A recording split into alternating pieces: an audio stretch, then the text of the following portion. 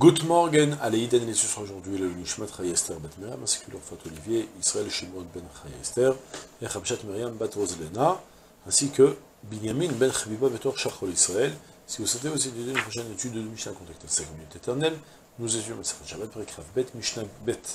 Kol Sheba Bechamin Me'erev Shabbat, Shorin Oto Bechamin Beshabbat. וכל שלא בא בחמין מערב שבת, מדיחין אותו בחמין בשבת, חוץ מן המליח הישן,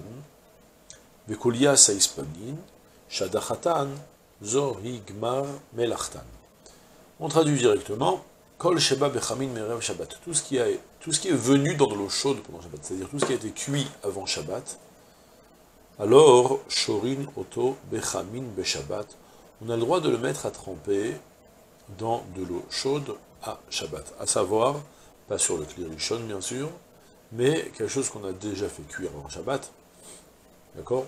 On va prendre un cas, je sais pas moi, un bout de poulet, de viande, peu importe, eh bien, puisqu'elle a déjà été cuite, c'est quelque chose de cuit, dans ce cas-là, une puisqu'elle a été cuite, il n'y a plus de bichoul à le refaire cuire en théorie, seulement on n'a pas le droit de le mettre sur le feu directement, parce que, euh, parce qu'il y a un interdit de mirzekim vachel, que on fait une action apparentée à quelqu'un qui fait cuire, parce que prendre un aliment et le mettre sur le feu, ça veut dire qu'on est en train de le faire cuire.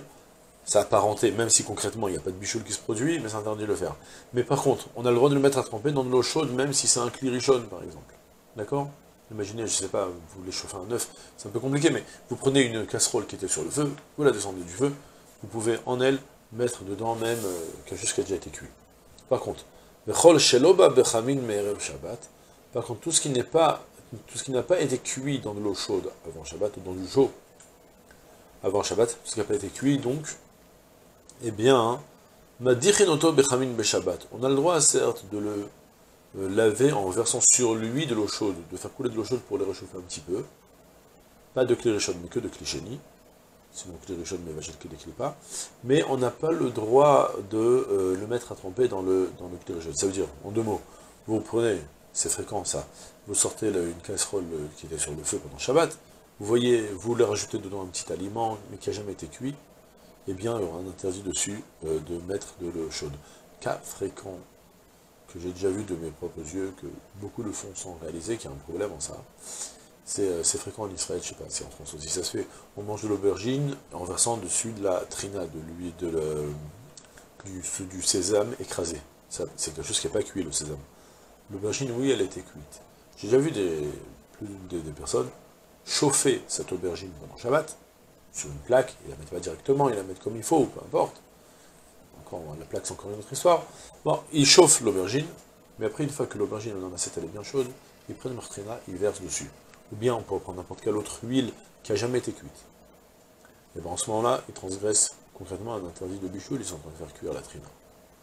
D'accord? Il faut faire attention à ça. Euh, ça découle de ce qui est écrit en ce moment ici. Ça veut dire que la trina n'a pas été cuite, l'oba bechamin beshabbat. Et dans ce cas-là, on n'a pas le droit de la mettre sur quelque chose qui a été directement sur le feu. Voilà. Maintenant, concrètement, je reviens sur la Mishnah elle-même. La Mishnah m'a dit, tu sais, par contre, tu as le droit de le verser sur lui de l'eau chaude, comme on a précisé, de clicheni. D'accord C'est dit où dans le clicheni Mais clicheni dans le Tosotium, dans le Tifat Israël, regardez si vous voulez. Motar la rotalav, mikli sheni b'shabbat, aval asur lishroto, afelu b'kli sheni. Mais le mettre à tremper, même dans le kli sheni, c'est assour, d'accord? Et, et maintenant, la Mishnah précise maintenant, à l'exception d'un poisson qui s'appelait le maliyach yashan, le vieux salé, un, poisson qu'on faisait, qu'on salait, qu'on laissait, euh, qu'on laissait donc euh, macérer dans le sel, et vieillir comme ça, qui n'était jamais cuit, et pour le moment il n'est pas mangeable. Il faut nécessairement lui verser de l'eau chaude dessus, même de klicheni.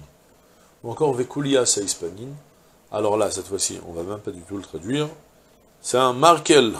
Je ne sais pas si ça veut dire que c'est du macro, je ne sais pas exactement en yiddish.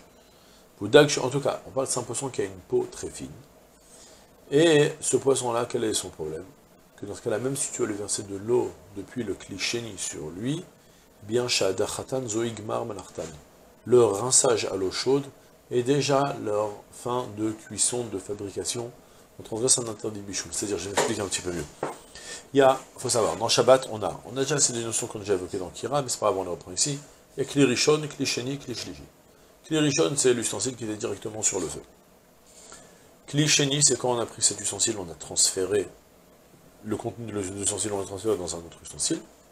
Là, on a un cliché Et kli c'est qu'on prend et qu'on le transfère dans un troisième. Troisième, shlishi, dans un troisième. La plupart des aliments, lorsqu'on les met trempés dans le kli alors on ne transgresse plus d'interdit de la Torah de le mettre à tremper. D'accord? Il n'y a pas d'interdit de la Torah.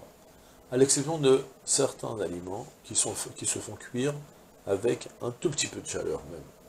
En l'occurrence, ceux qui sont évoqués ici, c'est les calais à ceux qui sont faciles à faire cuire. Et donc on a en l'occurrence le maliach yachan et kuliasa hispanine, ce sont deux, poissons qui se font cuire très facilement. Dans ce cas-là, même dans le clichéni, et même si tu verses du clichéni, ce sera interdit. Il faudra nécessairement les mettre dans le clichichi pour pouvoir les consommer pendant Shabbat. Et c'est tout pour aujourd'hui. Je vous souhaite une journée pleine de tzlacha, salam.